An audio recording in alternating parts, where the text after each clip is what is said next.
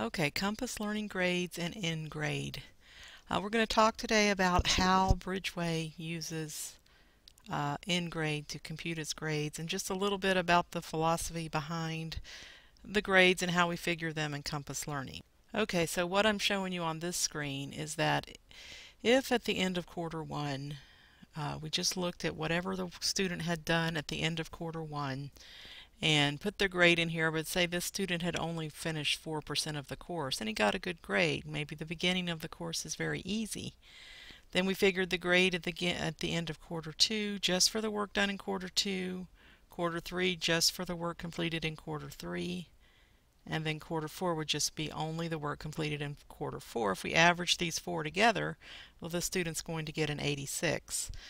But because our students um, don't have a required amount that they have to finish at the end of each quarter, they could only have a small amount done and then that would count for a quarter of their grade. Well, that's not um, going to work. So what we do is we figure it uh, as a cumulative grade where he finished this is the grade for everything he had finished at the end of quarter one and the same for each subsequent quarter.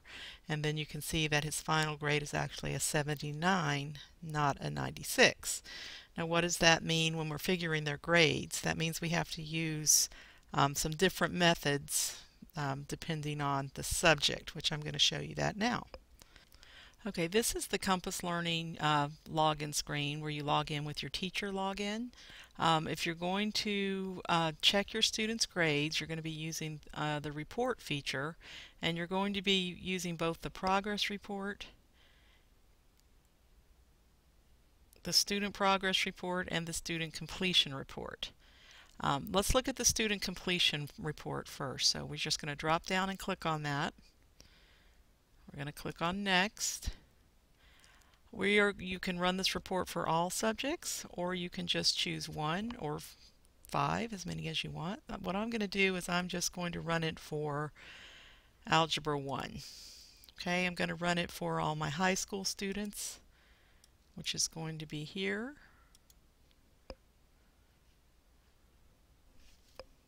Then after I make my selections, I'm going to click Next. And this is going to bring me to a screen where I am going to click this little box to choose all work through the end date. Then I'm going to choose use the highest score from repeated test quizzes and assignments or uh, what do we call those uh, lesson activities um, and then it's important that I choose my school because these assignments that are showing up here are assignments that I have created uh, individually for students under my uh, teacher login. These are not the main Algebra 1 coursework. So I'm going to check my school and then I'm going to update the selection. Then I'll see all of the Algebra 1 assignments uh, show up. And I want to make sure I include everything because this may be a quiz retake. We want that to be figured into the student's score. So I'm going to click this box here to select all assignments. And then I'm going to click Next. I'm going to pick my whole class by checking the box next to my class. I could also click on the plus sign and run this report for an individual student. Um, at this point we're not using anything in this box so I'm just going to click next and then I can either save this report if this is a report that I'm running weekly I can give this report a title and then when I come in I don't need to make those selections again I just choose the save report and then I am going to generate the report. You can choose uh, to run it offline if you're doing all subjects, all students. It may take you know 15 or 20 minutes. You can do it offline um, or uh, you can do it online if you're just doing one subject or one student. So I'm going to wait for the report to generate. Okay, so now here we see the, the report that's generated and um, you can see here what you selected. Um, the assignments that you selected, that we selected all work, so you can check yourself and make sure this is what you wanted. Use only high score, score was yes. Um, and then here are the students who are taking Algebra 1. And Algebra 1, as you can see, is made up of learning activities and activity quizzes. Um, if there were chapter tests in Algebra 1, they would be listed here, but there are not. Um, and there aren't very many graded, if any, learning activities, although they are um, tracking the completion of the learning activities. So this student score for Algebra 1 at this point in time is a 96. Um, so in a few minutes we'll go and look at the gradebook and see how to put that score in. But notice a few other things about this report.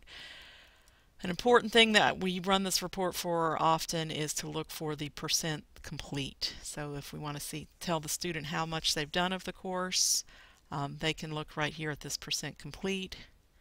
Also over here you can see the time they've spent in this course and this student has spent quite a bit of time in Algebra 1. Um, also maybe take a look at the number of activities. Notice this student, I'm very familiar with her, has completed the whole course in 23 hours. I'm not really sure that that's possible, but she did it. So why do you think this student spent so much time in Algebra 1? It's watching activities over and over again, um, taking quizzes over and over again, um, struggling through it. And the, these this student is obviously not. And this one's halfway through, spent about 45 hours. Typically, it takes about 90 to 120 hours to complete a course. Um, that's what we're hoping for anyway.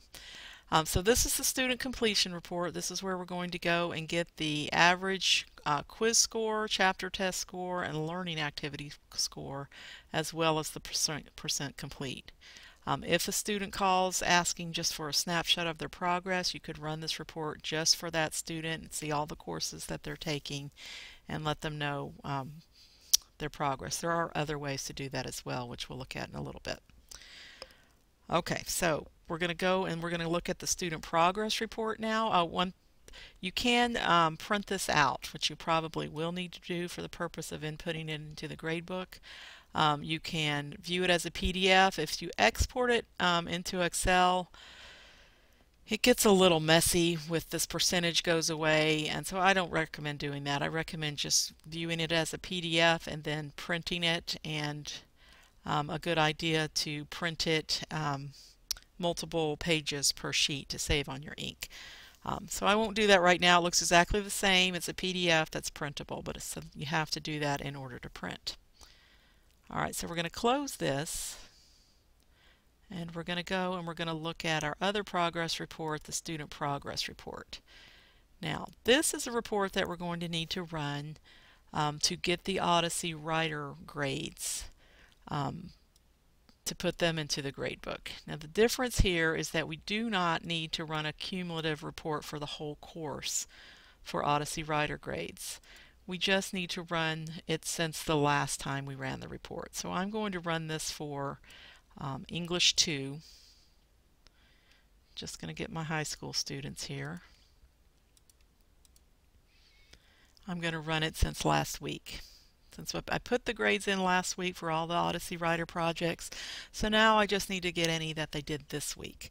Um, so I'm going to uncheck everything except for Odyssey Writer projects because that's all I want. I'm going to click Next. I'm going to choose my class. Again, you could do the drop down.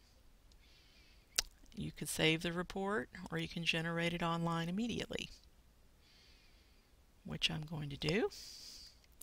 Okay, so here's the Odyssey Writer report. It's a little messy to look at, look at in this format, so often what, what I will do is um, in this case, I'm going to export it to Excel so that I can sort it rather than by uh, student name. I can sort it by Odyssey Writer project. That way when I get to my grade book, it's easier to input the grades. So it's not going to be a very long report. I'm just going to click on Export as CSV. That's going to open it up with Excel. It'll just take a second to do that. Okay, here's my report in Excel. Um, first thing I like to do is, is just kind of squish things over. I don't need to see all of this. What I do need to see is the Odyssey, uh, the, the activity title, which is the Odyssey Writer title, and I need to see the score. That's pretty important. But I don't need to see those other things. And so then you can see that this is sorted by um, student name, but over here, um, is the score. And the, the second thing I like to do is I like to sort it by the score. And I'm going to get rid of all those scores that have an NA on them. That way my report won't be too long to print out. So I'm going to sort that quickly by um, activity score and then I'm just going to highlight. I know this is kind of going off the recording, but I'm going to highlight and then I am going to just do a little um, delete of rows. So now look what I'm left with, not too much.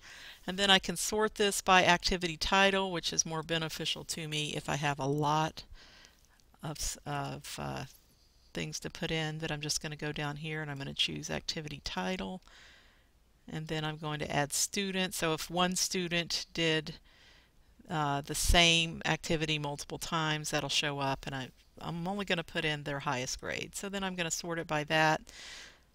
Don't actually have any repeats here. And then I can just print this out and then I can go to my grade book and I can put in these scores. So let's go and do that now. Okay, so I've gone to engrade.com, which is where the online gradebook is located. Um, I'm going to scroll over here to the right and click on login. I'm going to log in as the Bridgeway admin, which Bridgeway09 as the password.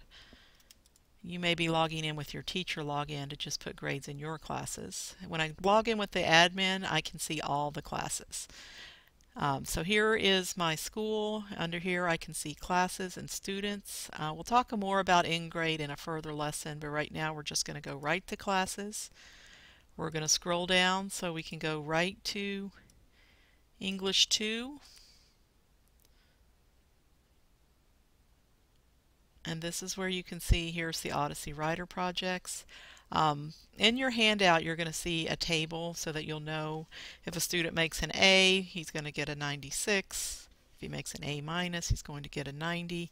Um, since the Odyssey Writer projects are listed as letter grades, we have to convert them here when we put them in the table. Um, so basically, we just take a look at our Excel sheet. Most likely we've printed it out. I'll refer to it again so we can see here that Kira Dwin McDowell has an A on Odyssey Writer 16. So let's just go back to our Engrade um, class and put that grade in. Dwin McDowell an A on Odyssey Writer 6. Alright, so the easiest way to do it is just do it here on this front screen. You can also go into your assignment list and scroll down and find that Odyssey Writer 16. Here it is. And then if you scroll down here, you'll actually see a list of all the students. Here's Kieradwin McDowell, and her A is a 96. When you do it this way, you need to go all the way to the bottom and save the assignment. So if you had a lot of Odyssey Writer 16s, you could put them all in that way. You could also scroll down here, find the student's line, and then you're just going to be tabbing over. This gets a little messy though because you can't see the top. Um, so you got to come over to 16. Notice they're not in order. Maybe next year we can get them in order. Um, no way to order them other than date input. Um, so if they didn't all get put in on the same day. So this is the column we're looking for here. And here is her grade already in there because we went in through the assignment view. Okay, and then the other thing that you're going to put in here is that um, average for the quizzes and the test from the report, the student completion report. And you can see that those are going to go here at the beginning. No, they're not. We'll look in our assignment list. We'll go all the way down. Here's the quiz average, here's the chapter test average. No, so as soon as you put the grade in, the, the student's grade is reconfigured and their grade shows in the left-hand column of the gradebook. We'll talk about the gradebook more in another lesson, but I'm almost out of time. Um, so this is what I wanted to show you today, how to put grades, compute grades um, in Compass Learning and put them into the Engrade gradebook. Talk to you next time. Bye-bye.